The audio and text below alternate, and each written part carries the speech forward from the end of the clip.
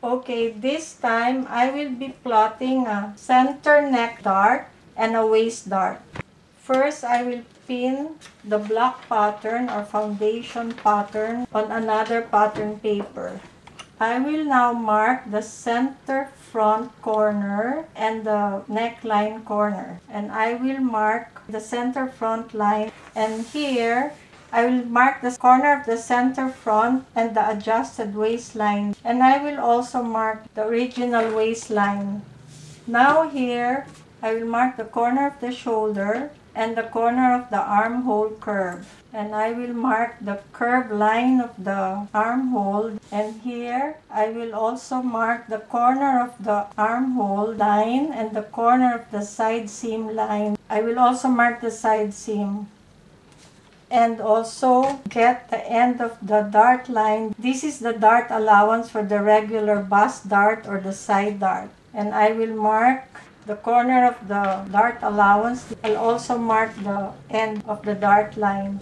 And I will continue marking the side seam, the lower side seam, and I will mark the corner of the side seam and the corner of the waistline. Then I will mark the waistline. This is the original tip of the bust point. I will have to mark this, okay? Okay, I'll be removing the block pattern and I will be connecting the center front line. I will be connecting the marks of the neckline this way. I will connect the shoulder line, the armhole markings. I will be connecting. I will connect the dart points with a straight line. And this one, I can connect the waistline with the curve ruler.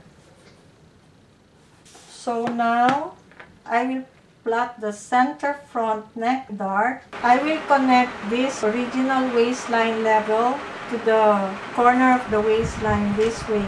Okay, this time I will draw a straight line downwards. This distance between the center front dart and half of the tip of the bust should be equal to the distance of the center front and the line of the waist dart. I will have to continue this line until the end of the waistline this way. Now I'm cutting the shoulder line. I'll cut the neckline. I am now cutting the center front line. This will be on fold as uh, this pattern is just half of the front body's pattern. I will be cutting the adjusted waistline and the armhole.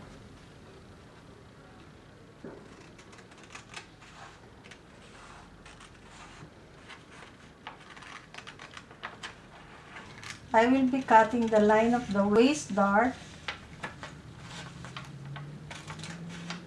I'll be cutting the line of the center front dart. I can fold the regular bust dart or side dart this way. And I will lift the lower dart line and align it on the upper dart line. Then I will pin this together. Now the side seam, I can connect the corner of the armhole and the side seam to the corner of the waistline and the side seam Now I can cut this. I can actually tape this together.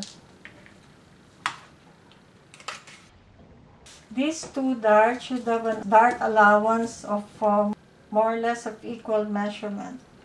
So here, I will start with the waist dart. I'm checking the distance between the ends of the two darts if they're more or less of the same measurement as the waist dart. I will now plot the waist dart here by adjusting the tip of the bust point. I will be lowering this by 1 inch. Then I will connect this adjusted tip of the bust point to the end of the, the dart line for the waist dart. And I will also connect the tip of the bust point here to the end of the dart line of the waist dart this way. Okay?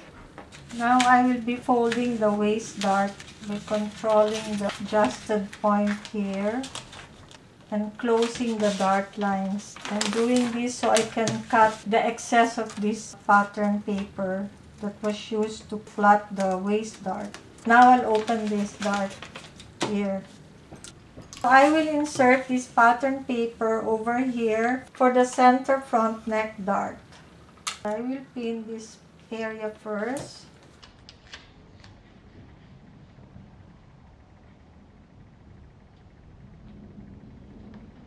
Again, I will make an adjustment here. This is the original tip of the bust point, but we will move this again to more or less 1 inch up. And I will connect this adjusted tip of the bust point to the end of the dart of the center front neck dart and also connect this to the end of the center front neck dart. Then I will fold this. So this is a vertical dart. Usually the fold is facing the center front. I will align this dart line to the other dart line by folding them together and I will pin this here so that I can cut the excess of this pattern. I'm still following the shape of the neckline and here I will cut this part, the excess pattern paper.